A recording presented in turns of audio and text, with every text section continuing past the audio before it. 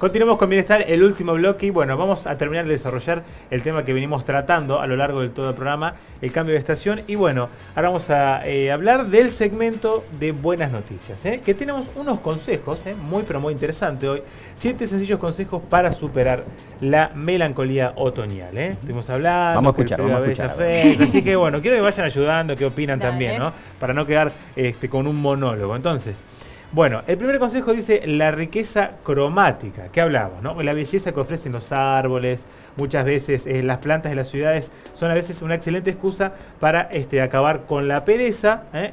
y aventurarse a dar un paseo. ¿eh? A veces es lindo, hay gente que le gusta las hojas, exactamente, que, ¿no? sé. La variación de colores. Claro, ¿no? Hay una variación de colores a veces bastante particular. Bueno, después las escapadas, ¿eh? El título es Las escapadas. ¿Cómo ayuda esto, no? ¿En qué, tiene que ver? El otoño a veces es famoso por sus puentes, dice Hay muchos feriados, descanso. Exactamente, por feriados, que invitan a realizar diferentes paréntesis de nuestras actividades y este, poder salir un poco más. Entonces, ¿cómo nos ayuda esto? Una mínima exposición a veces a los rayos, ¿eh? mejora la resistencia a la tristeza y la depresión gracias a la serotonina, doctor. Venimos hablando en, otros programas de Todo, Salir al aire libre. Sería. las termas, por ejemplo, es un lugar fantástico, ¿no?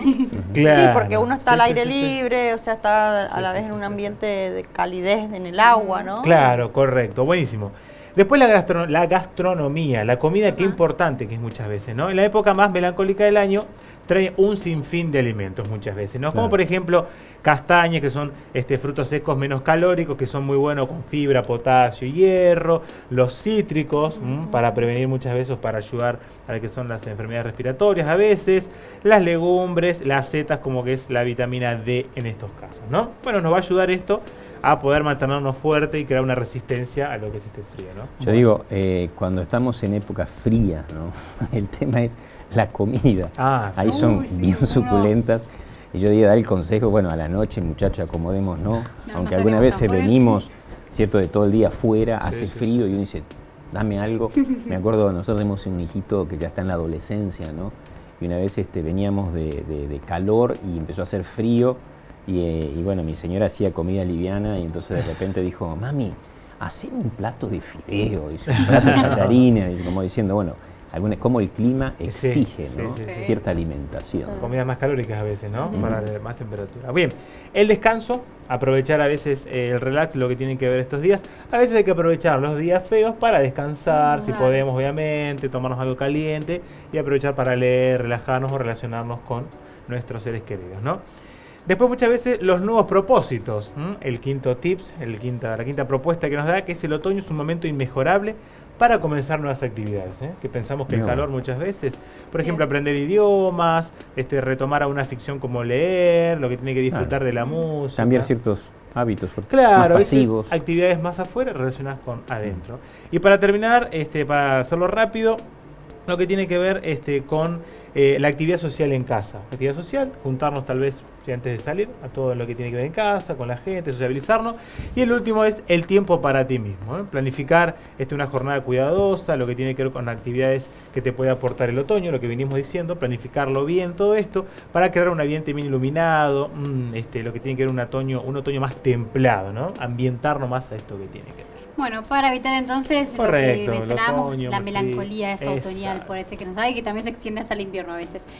Ya nos quedamos sin tiempo, lamentablemente, pero bueno, algo más que quieran agregar, tenemos unos segunditos no sé si quieren mencionar algo. Yo una vez recuerdo este, un consejo que le dio un doctor a una persona que justamente estábamos en invierno, estaba bastante gris la cosa, le dijo, mira, prende todas las luces de tu casa, comprate, dice, un toallón de esos que tiene un paisaje, o dice, ponelo ahí, dice, pensá que está, yo digo, es la actitud, la actitud que uno debe tener en cada estación. Y que bueno, que Dios nos ayude a eso, ¿no? que tengamos actitudes que, que sean para vida, que sean para disfrutar. Y entre lo bueno y mucho que ha diseñado Dios para que nuestro bienestar, fíjense ustedes, por ejemplo, hemos hablado de las virtudes de ciertas estaciones, por ejemplo en primavera el colorido de las flores, pero fundamentalmente el celeste y el verde que son colores que invitan al reposo o que mejor dicho hacen eh, descansar no solo la vista, ¿no? sino el temperamento también, que son más abundantes en esas estaciones. De modo que eh, muchos comparan eh, el color del, otoño o del invierno este, con cierta opacidad de lo que uno aprecia, pero también tiene otra, otra virtudes. Aquí en el lugar donde vivimos hay una especie maravillosa que se llama liquidámbar, ¿eh? que va cambiando su tonalidad desde el verde, pasando por el amarillo y termina en rojo, ah. este, dando realmente una sensación de, mm, de, mucho gusto para quien lo contempla. Perfecto. Bueno, muchísimas gracias. Terminamos el programa del día de hoy, nos quedamos sin tiempo. Así que bueno, gracias por haber estado con nosotros en otro programa más.